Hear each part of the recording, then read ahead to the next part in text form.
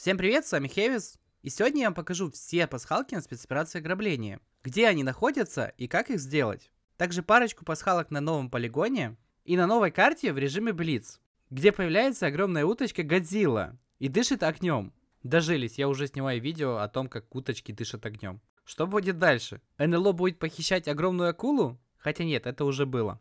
Но перед этим розыгрыш на один доступ к Battle или 800 кредитов. Для того, чтобы принять участие, вам нужно поставить лайк этому видео, быть подписанным на канал и написать интересный комментарий, по которому я выберу победителя. Вот предыдущий победитель розыгрыша. Ему просьба отписаться мне в личку ВКонтакте или здесь на Ютубе. Также переходите на мой Discord сервер, в котором мы часто сидим, общаемся или помогаем проходить спецоперации. Рой, Блэквуд или другие. Ссылка на сервер будет в описании. Всех ждем. А мы переходим к пасхалкам. Архниты на ограблении. Целых три этажа с жуками, которых мы встречали на спецоперации Рой. Проходить эти этажи с арахнидами немножко сложнее, чем с обычными ботами. Из-за того, что появляются элитные цветки, по которым нужно долго стрелять, чтобы их снести. Но если вы все-таки хотите попробовать или удивить своего друга, то вам нужно стрелять все зеленые колбочки с жуками. Всего их на карте 16 штук. Первая всегда находится с правой стороны в начале, как только вы появляетесь. Поворачивайтесь направо и расстреливайте ее.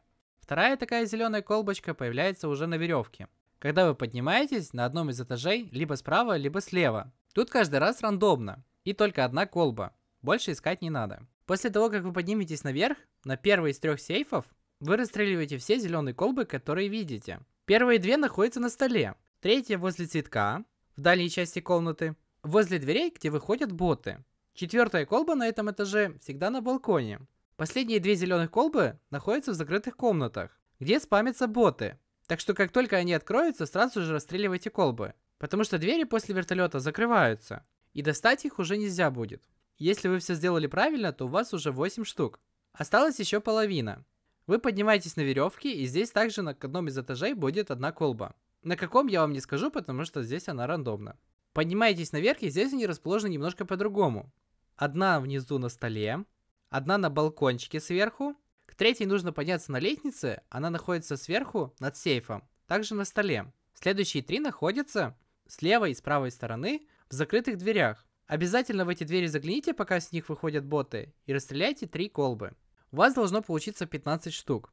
Последняя 16 находится в сейфе, с правой стороны.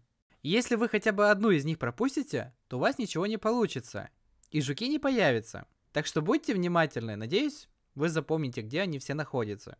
Также за то, что вы расстреляете 100 этих банок с жидкостью, вы получите достижение. А мы переходим к следующей пасхалке с фейерверком на крыше. И также красивым достижением за него. Эта пасхалка делается очень просто. В первом сейфе, который мы вскрываем, находятся две уточки. Первая из них стоит на столе и смотрит на вас, когда вы только заходите в сейф. Вам нужно по ней несколько раз выстрелить, чтобы она исчезла. Вторая находится в дальнем правом углу сейфа возле денег и золота. Хотя это же банк, там деньги и золото везде. Странно, что они туда не запихали золотую статую Хаймзона. Я бы не удивился, если бы такое было. Третья и четвертая уточки находятся во втором сейфе, который мы вскрываем. С правой и с левой стороны возле взрывчатки. И последняя пятая уточка находится на крыше, которая нам дает достижение после того, как мы ее расстреляем. И появляется такой вот красивый фейерверк перед тем, как появятся джиггернауты. И последняя пасхалка на спецоперации ограбления. Это бойцы Warface, которые отдают честь и стоят на одном из этажей, на втором подъеме. Как они активируются, как их сделать, я не знаю. Если вы знаете, как их активировать, то пишите об этом в комментариях. Мне будет интересно почитать и узнать, как они делаются. А мы переходим к пасхалкам на полигоне. Первая пасхалка – это тайная комната, которую можно открыть, если сбить все камеры на полигоне. Проходить паркур или полосу препятствий на время не нужно. Главное не пропустить ни одной камеры. И тогда тайная комната откроется. Первый раз, когда вы туда зайдете, боец Warface будет отдавать вам честь. Проходим дальше и слышим красивую музыку и видим зеркальный шар. Похоже на то, что Warface устроили дискотеку в тайной комнате. А на столе лежит бумажка с кодом от следующей пасхалки. 11.7.10.2. В такой последовательности вам нужно подергать картины, чтобы открыть сейф, в котором лежит Аберон. Еще куча золота и денег которые мы, к сожалению, потратить не можем. Вся эта тема с картинами мне очень напомнила игру Hitman 3. В одной из миссий там было что-то похожее, также нужно было открыть сейф. И также нужно было дергать некоторые предметы. Не только картины, но еще и часы и что-то другое. Что-то мне подсказывает, что именно оттуда они взяли идею с картинами. А мы переходим к последней пасхалке на сегодня, которая находится на карте ограбления режим Блиц.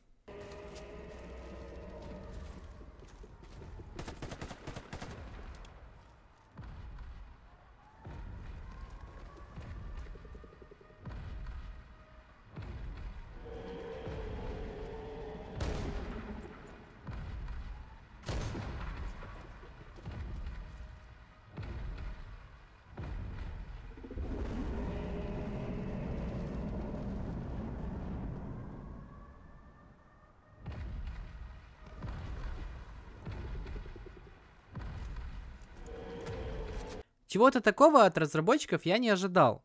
Но тем не менее, Warface не перестает нас удивлять интересными пасхалками. А уточки это вообще отдельная история. Нет ни одной новой спецоперации, в которой бы не было уточек. Маленькие, большие, средние, в шляпе, с сигаретой. Какие только не бывают у нас уточки. Но огромной утки, которая дышит огнем, такого еще ни разу не было. Чтобы сделать эту пасхалку, вам нужно попасть за сторону Блэквуд и пострелять по пяти уточкам на крыше. Все эти уточки появляются рандомно по всей крыше. И появляются не только на одну секунду. Если вы хотя бы по одной промахнетесь, то пасхалка уже не сработает. И вам придется запускать новую карту.